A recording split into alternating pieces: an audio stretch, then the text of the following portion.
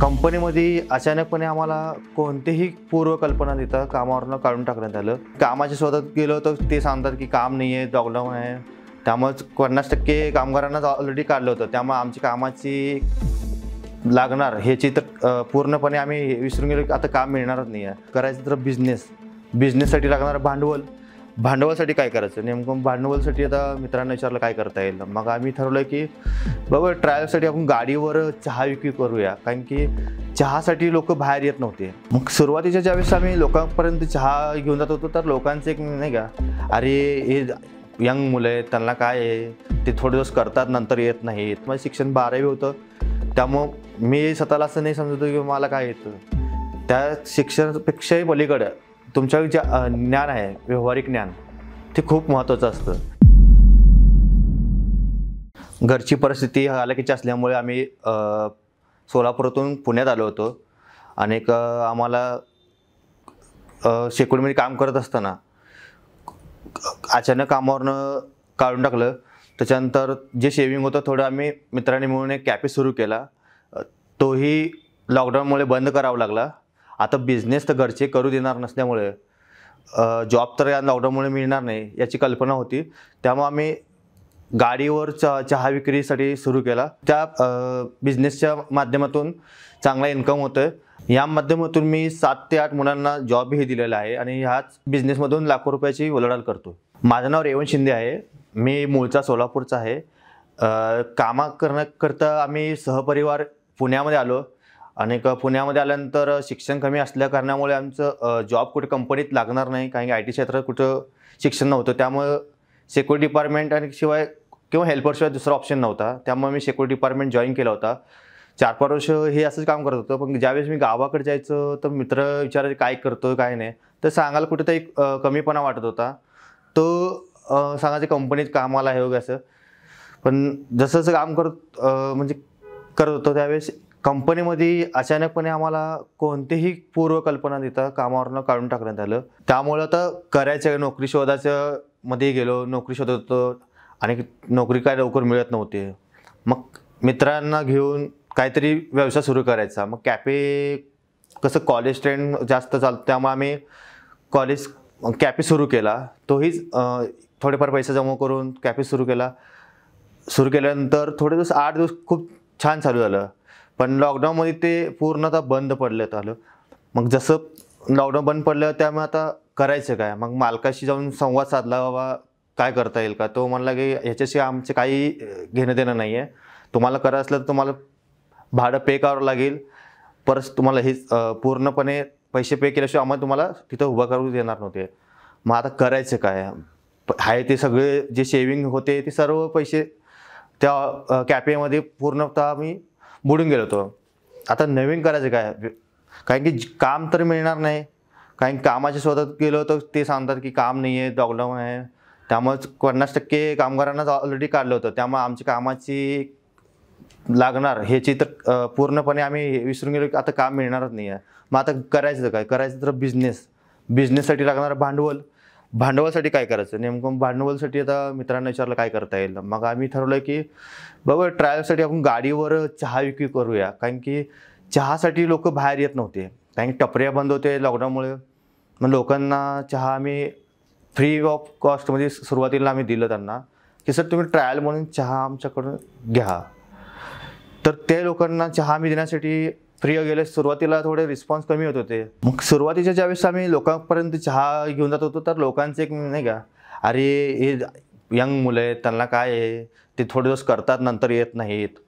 मग ते म्हण आम्ही सांगायचं नाही सर आम्ही तुम्ही ऑर्डर देऊन बघा आम्ही रेग्युलरली तुम्हाला आम्ही ऑर्डर देऊ. पण लोकांची एक असते ना निगेटिव्ह पॉईंट बोलणं ते कुठेतरी हर्ट करत होतं. पण मनात अशी एक इच्छा होती नाही आता काहीतरी करून दाखवायचं आहे आता इतर जर थांबलो आपण तर आपल्याला पुढं आपलं व्हॅल्युएशन कमी होऊन जाईल. आणि जे गावाकडे आपलं जे मित्र होते त्यांना आपण सांगायचं ते पण कुठंतरी आपण कमी पण म्हणजे एकदम असं वाटतं की आता आपण पुढं काय करू शकणार नाही. मग लोकांचा विश्वास उडून जाईल. घरच्याचा विश्वास तर ऑलरेडी उडाला होता. मग काहीतरी विश्वास त्यांना सिद्ध करण्यासाठी काहीतरी करावं लागणार.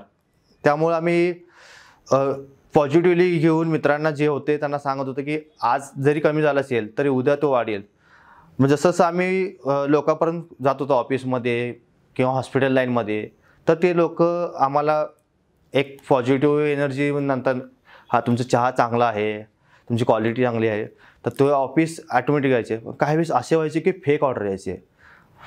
पन्नास चहा आहे इव्हेंट आहे तर ते चहा आम्ही घेऊन गेलो तर तिथे चहावर कोणीच म्हणजे कस्टमर नसा येतो तर मग तो आम्ही काय करायचं आता? आता चहा तर फेकू फेकणार नाही. आता जे चहा आहे जे नवीन कस्टमर आपले आहेत त्यांना फ्री ऑफ कॉस्टमध्ये चहा आपण देऊन टाक. दिलं तर ते कस्टमर आपले वाढतील. आम्ही हा पॉझिटिव्हनी कस्टमरपर्यंत जायचं फ्री ऑफ कॉस्ट चाय द्यायचं त्यांना. असे करत करत आम्ही सुरुवातीचे दहापासून आता कमीत कमी एकशे वीस ऑफिसांना चहा सर्व्हिस करतो. आणि आता आमच्याकडे कॉलेज स्टुडंट आहेत दोन. आणि असे माझ्याकडे आठ मुलं काम करत आहेत की मेहनतीने. की ते ऑफिसांना चहा वगैरे देतात त्यांना कामात आनंद पण येतो आणि ह्याचा ह्यातून मी लाखोंचा उलाढाल सुद्धा करतो आता सध्याला. ज्यावेळेस हा ह्या क्षेत्रात गेलो होतो आम्ही ऑनलाईन टीचर त्यावेळेस खूप पहिले तर म्हणजे काही निगेटिव्ह पॉईंट्स होते आम्हाला काही फेक्स ऑर्डर होते.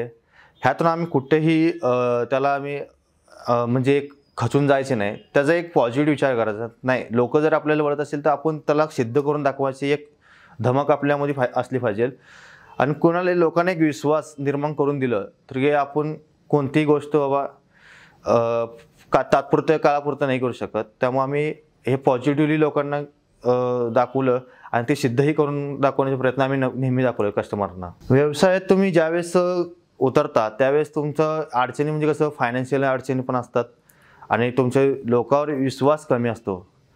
कारण की हा करेल का नाही पहिली गोष्ट. त्यामुळे तुम्ही एक जो जे फायनान्शियल अडचणीला तुम्ही टप्प्याटप्प्याने समोर जायला पाहिजे. एकदमच त्या गोष्टीला हे न करता. की बाबा थोड्या थोड्यातून कसं आपल्याला सिद्ध उभारता येतं. आणखी एक खूप जणांचं असं की आहे की की मराठी माणूस बिझनेस नाही करू शकत. मराठी माणूस हे नाही करू शकत.